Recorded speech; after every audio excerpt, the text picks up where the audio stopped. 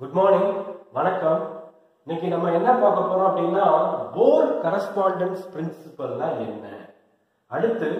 Probability density function அல்லது probability amplitude function அல்லது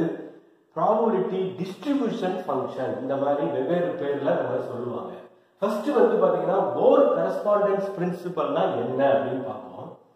According to Bohr correspondence principle the quantum mechanical systems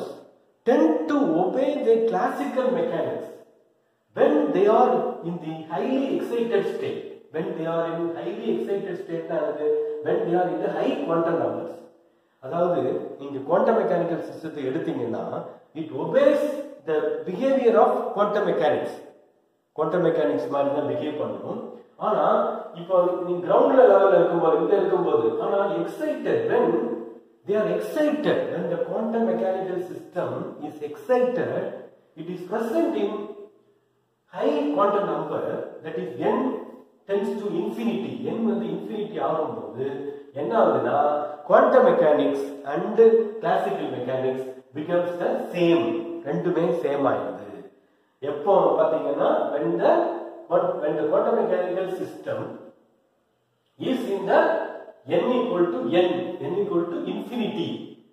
in high quantum numbers. இப்போ பாத்தீங்கன்னா அந்த energy level diagram for hydrogen atom I have shown the energy level diagram of hydrogen atom are is shown in figure இது வந்து n equal to 1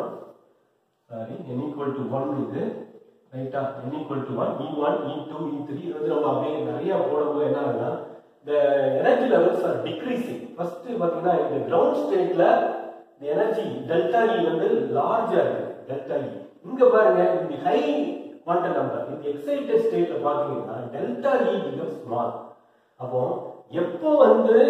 quantum mechanical system வந்து classical மெக்கானிக்ஸை follow பண்ணணும் obey பண்ணணும் பாத்தீங்கன்னா when the system is in the high excited state or in high quantum number அல்லது n tends to infinity. இங்க போகும்போது வருது. இந்த when n ஹை கொண்ட the பாத்தீங்கன்னா டெல்டா இ e, இது ரெண்டுக்கு எனர்ஜி லெவல் டிஃபரன்ஸ் பாருங்க. Delta E e becomes small இங்க பாருங்க டெல்டா இ e அதிகமா இருக்கும் ஸ்மால் அப்போ பாத்தீங்கன்னா delta E Max Planck equation Planck equation தெரியும். Delta E is to H nu அப்போ டெல்டா இ இது டெல்டா இ வந்து டிஃபரன்ஸ் வந்து குறைச்சிக்கிட்டே வருது. ஜீரோ ஆயிடுது. Delta E tends to zero delta E வந்து என்ன ஆகுது? ஜீரோ ஆயிடுச்சுன்னா ஹெச் டென்ஸ் டு ஜீரோ இது ஜீரோனா இதுவும் zero H H Planck's constant zero ஆகிடுது அப்ப நீங்க பாத்தீங்கன்னா according to Heisenberg uncertainty principle படி பாத்தீங்கன்னா the product of uncertainty in position and momentum is greater than or equal to h by 4 pi நம்ம படிச்சிருக்கோம் ஏற்கனவே Heisenberg uncertainty principle is obeyed by quantum mechanical particle quantum mechanical particle இப்போ நீங்க பாத்தீங்கன்னா இது இந்த ஹை எக்ஸைட்டட் ஸ்டேட் இந்த ground state இந்த லோயர் எனர்ஜி ஸ்டேட்ல பாத்தீங்கன்னா குவாண்டம் மெக்கானிக்ஸ் ஒபே பண்ணும். இப்போ நீங்க ஹை எக்ஸைட்டட் ஸ்டேட்ல இருக்கீங்க அப்போ h டென்ஸ் டு 0 ஆயிடுது டெல்டா E வந்து குறைஞ்சிருது அப்போ வந்து டெல்டா எக்ஸ் ஈக்குவல் டு இது ஜீரோனா இதுவும் ஜீரோவா தான் இருக்கும். Delta X equal to zero delta P equal to zero அப்போ பாத்தீங்கன்னா நோ அன்சர்டனிட்டி டெல்டா எக்ஸ்ங்கிறது என்னன்னா uncertainty in the position of X அது ஜீரோ அப்போ வந்து சர்டைன் ஆயிடுது அப்போ வந்து என்ன ஆகுதுன்னா in the high excited state the quantum mechanical particle do not obey Heisenberg uncertainty principle because it obeys they are certain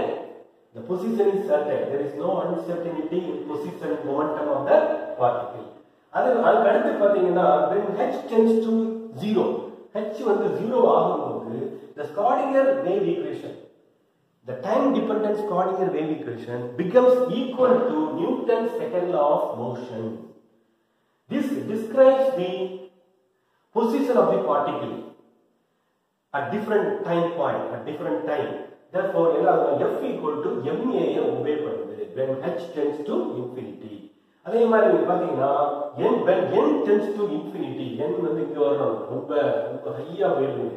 N tends to infinity ஆகும்போது delta E குறைஞ்சிக்கிட்டே வரும். அப்ப அந்த எனர்ஜி லெவல்ஸ் வந்து டிஸ்கிரீட்டா இருக்காது தள்ளி தள்ளி இருக்காது. டிஸ்கண்டினியூஸா இருக்காது. எனர்ஜி லெவல்ஸ் ஆர் கண்டினியூஸ் ஆயிடுது. Therefore it obeys classical mechanics in classical mechanics எல்லாம் நீங்க படிச்சிருப்பீங்க the energy levels are continuous whereas in quantum mechanics the energy levels are discrete energy levels are quantized. இங்க வந்து கண்டினியூஸா ஆயிடுது ரைட்டா so this is the significance of this are the significances of Bohr correspondence principle அடுத்து நம்ம probability density ஃபங்க்ஷன்னா என்ன இதை வந்து maths பான்ங்கிறவர் gave the probability density function he gave he was awarded nobel prize based on statistical interpretation he gave he proposed he gave this uh, probability density function equation he was given physics nobel prize in Fifty ஃபோர்ல அவருக்கு கொடுத்தாங்க என்ன முக்கியங்கிறத இப்போ நம்ம பார்ப்போம் இப்போ நீங்க வந்து பாத்தீங்கன்னா இந்த wave function is obtained by solving the Schrodinger wave equation but the wave function obtained is obtained by solving the Schrodinger wave equation is not real wave function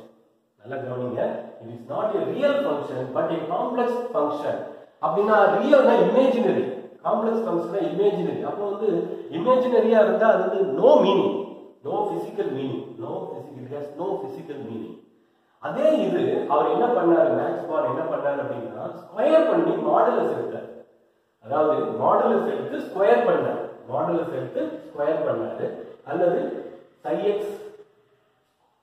சைஎக்ஸ் square அல்லது சைஎக்ஸ் ஸ்டார் சைஎக்ஸ் இதை எடுத்தாரு. The square of the square of uh, the absolute value of the wave function is called probability density இதுதான் வந்து என்னன்னா this is called probability density function அப்ப அது என்னது what is called probability uh, density function அல்லது probability amplitude function probability density function அப்படின்னா என்னன்னா the square of the mo- modulus value of அல்லது absolute value of wave function is called probability density function இப்போ இது பாத்தீங்கன்னா this probability density function is real real not complex function அப்போ it has physical meaning it has physical meaning நல்லா கவனிச்சுக்கோங்க the wave function contains all the information about the system it is the wave function describes the system as quantum mechanical system as well as it contains all the information about the system ஆனா பாத்தீங்கன்னா wave function வந்து complex ஃபங்க்ஷனா இருக்கிறதுனால நம்மளுக்கு நம்ம வந்து real not real no physical meaning இருக்கு இந்த இதுக்குதான் அவர் வந்து based using statistical mechanics he derived this he obtained this he was awarded Nobel prize in physics nineteen fifty four அடுத்து பார்த்தீங்கன்னா இப்போ இந்த ப்ராபபிலிட்டி ஆஃப் ஃபைண்டிங் இந்த probability density per unit length இது வந்து என்னன்னா per unit length in case of one dimensional box அதே இது இன் த்ரீ டைமென்ஷனல் பாக்ஸ் எடுத்துட்டீங்கன்னா இது த்ரீ டைமென்ஷனல் பாக்ஸ் எடுத்துட்டீங்கன்னா எக்ஸ் கமா ஒய் கமா இசட்னு போட்டீங்கன்னா என்ன வரும்னா the probability this is the probability this function is called probability density function that is per probability of finding the electron per unit volume probability the probability of finding the electron per unit length this is எழுதிக்கோங்க the probability of finding the electron per unit volume that is in 3D three dimensional box problem So what is the probability of finding the electron? இப்போ ஒரு one dimensional box நான் கொடுத்துருக்கேன். இதில் பார்த்தீங்கன்னா இப்போ வந்து zero to a இந்த electron is allow to move from zero to a அப்போ பார்த்தீங்கன்னா நம்ம இந்த டிஸ்டன்ஸ்ல எவ்வளவு இருக்கும்? The probability of finding the electron within this interval. இந்த இன்டர்வலுக்குள்ள இந்த எவ்வளவு நேரம் இருக்கும் அந்த பார்ட்டிகிள் அப்படிங்கிறது வச்சு நம்ம கண்டுபிடிக்கும் ஏன்னா பெர் யூனிட் லென்த் நம்மளுக்கு தெரியும். இந்த இதான் வந்து டோர் இந்த இருக்குது ப்ராபபிலிட்டி டென்சிட்டி ப்ராபபிலிட்டி டென்சிட்டிங்கிறது இதுதான் அந்த ப்ராபபிலிட்டி டென்சிட்டி இந்த இருக்குது இன்டு டிஎக்ஸ் அப்போ வந்து என்னன்னா the probability of finding the electron within the interval dx is given by this formula dou x dx equal to the formula for one dimension இருக்கு அதே இது probability density function into d tau போட்டீங்கன்னா என்னது இந்த வால்யூம்ல in three dimensional boxல இந்த வால்யூம்ல length into length வால்யூம்ல என்னது length into breadth into height அதனால dx dy dz நம்ம போடுறோம் இப்போ இந்த டோட்டல் இது வந்து probability of finding within the interval இப்போ நீங்க 0 to a overall the probability of finding the electron particle in a box within the box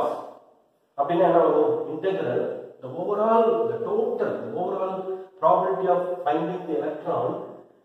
within the box one dimensional box அப்படின்னா 0 to a இதை போட்டு integral இதை போட்டு integral நம்ம பண்ணிடுவோம் equal to one ஏன்னா கண்டிப்பா இந்த பார்ட்டிகள் வந்து பாக்ஸ்ல தான் இருக்கும் அப்போ அது வந்து சர்டைன்